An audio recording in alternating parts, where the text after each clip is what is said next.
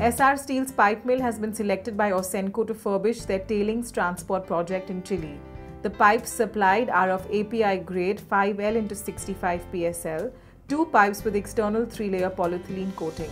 The pipe size is 36 inches into 1.25 inches and the total order quantity is approximately 4,838 MT. These sophisticated pipes will be used by Ausenco in the Minera Los Pelambres, which corresponds to a copper deposit located in the Cordillera of the Andes. The speciality of these pipes, particularly which go into tailings, have to be very heavy wall thickness because they uh, they carry mud and sludge, which are highly corrosive, uh, and uh, the uh, our pipes because they are so thick, uh, they are ideally suited for these projects.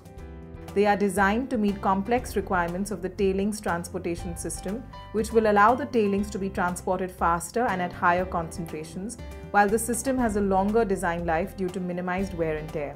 Third time that we're going to supply into the Latin American market, which is our new frontier for the pipe business. Uh, this is a repeat order which has come from the same customer. This project spells wonders for our quality pipe products in the South American region.